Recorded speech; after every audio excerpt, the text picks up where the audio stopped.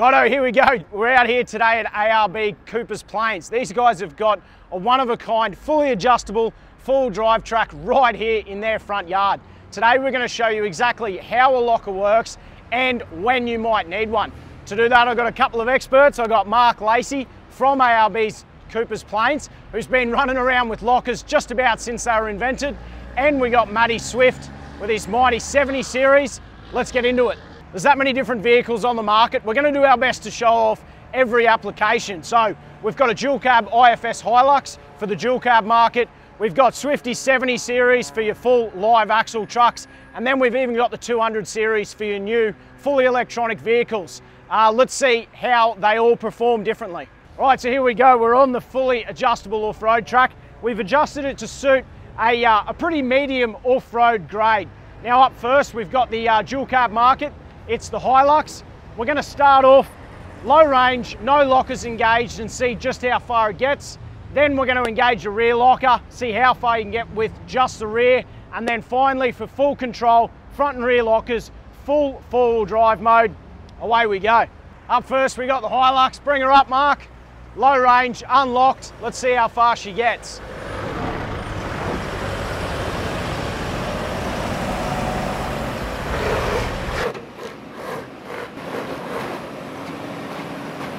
Righto, so as soon as it runs out of travel, front and rear wheels have started spinning. Righto, Mark, run us through exactly what's just happened here. All right, Matt, well, um, pretty normal situation to be honest off-road. We've attempted to drive up this simulated hill. Could be a sand hill or it could be a dirt hill. But like a lot of our consumers or customers, they believe that they have a four-wheel drive. They're sold a four-wheel drive, so they think that it drives all four wheels. It's in low range four-wheel drive, which means that it's got the best that OE can give it. Both tail shafts are connected and turning. Unfortunately, when one wheel on any axle comes off the ground, you've lost drive to that whole axle. So it doesn't seem right, but when one wheel spins, they think it's driving, but it's actually driving in midair. So all the power is being delivered to that wheel that's in the in air or in mud or in sand. So what we've tried to do is we're, we're, we're halfway up this hill and we're stuck because we've got lack of travel or traction. Lack of traction or travel. There you go, that was as far as he managed to get without any lockers. What we're gonna do now is throw the rear locker in, which a lot of your brand new uh, dual cabs has, and let's see how that goes. Fire away, Mark.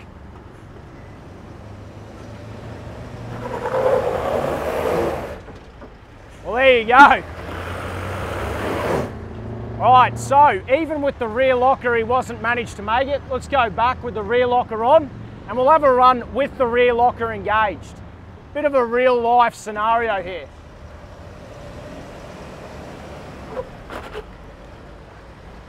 So there you go, nice and easy with the rear locker and just a little bit of momentum, he was able to get up the hill. What we're gonna do now is adjust this ever so slightly just to show you a real world scenario where the hill might be a little bit more difficult or you got your big wombat holes and let's see how far a rear locker will get you.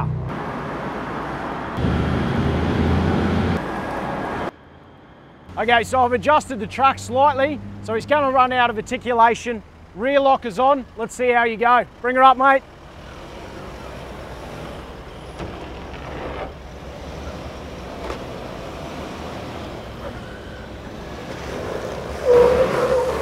There you go, as you can see there, rear locker's on, traction to both the wheels, and he just doesn't quite have enough to get up the hill. Hold it there, mate.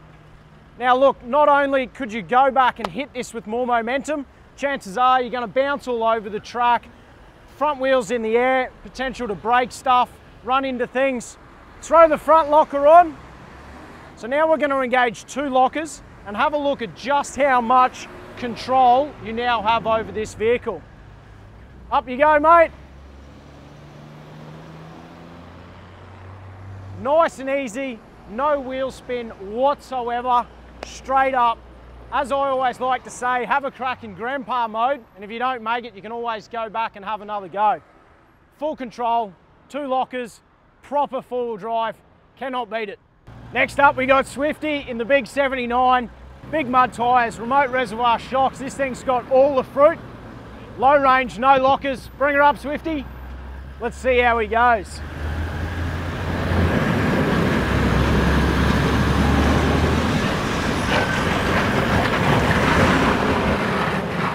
there you go. I'd hate to know what this thing's worth, but even with all the fruit, as soon as you break traction on both those wheels, you are going absolutely nowhere.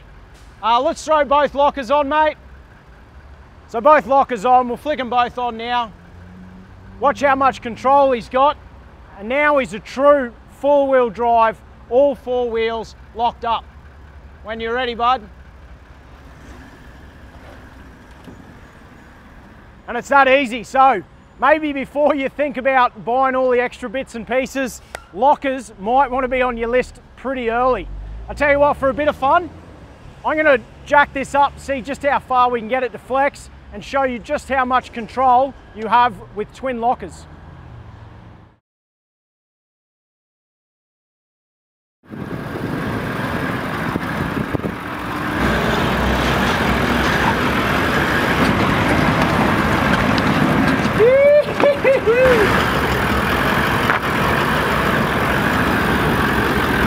Here it comes, the big 200 series. We've got it in low range with traction control off. Let's see how she goes.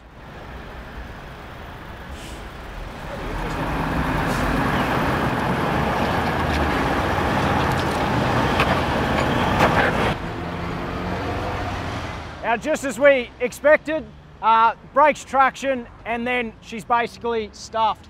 What we're gonna do now is we're gonna chuck it into hill ascent mode. Um, basically what it does is it just grabs your brakes. So as you start losing traction, squeezes the brakes on and you basically essentially jolt your way up the hill. Let's see how he goes.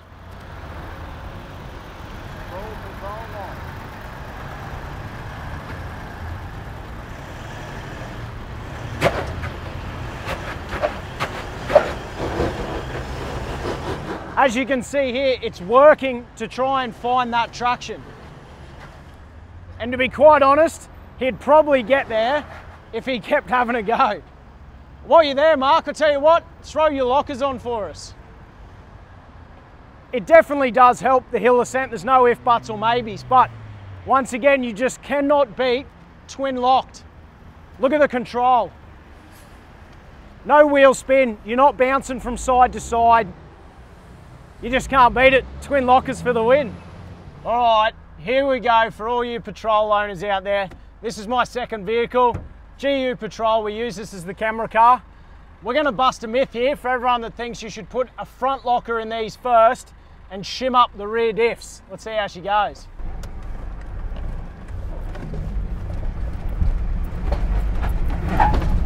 There you go. Unfortunately, this truck doesn't have lockers yet, but we're gonna back it down and I'm gonna show you exactly what I mean by um, shimming the rear diff and how it just doesn't really help you.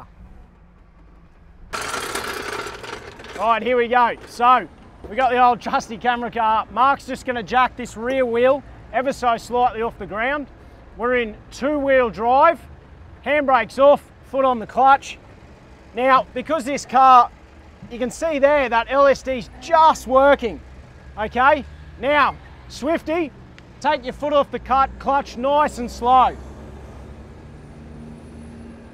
Not even enough power to drag the jack. Now look, I challenge you, if you've just had yours all shimmed up, put it in two-wheel drive, throw the jack underneath. That ain't gonna help you get up a hill, ladies and gentlemen. Let us know how you go at home. Leave a comment below in the uh, comment section. Myth busted. All right, to wrap it all up, um, I guess one question you're probably to ask me is, would you ever take a factory locker out and install an air locker? Uh, real quickly, there's a couple of limitations for some of your factories. They'll disengage in reverse. Some will um, disengage at a certain speed. You can't lock all of them in uh, unless you're in four-wheel drive. So they're just a few of the limitations. At the end of the day, who needs an air locker? Essentially anyone who wants to get out there and take on some of the more challenging hills. There's only one way to have all four wheels locked and a true four-wheel drive, and that is an air locker.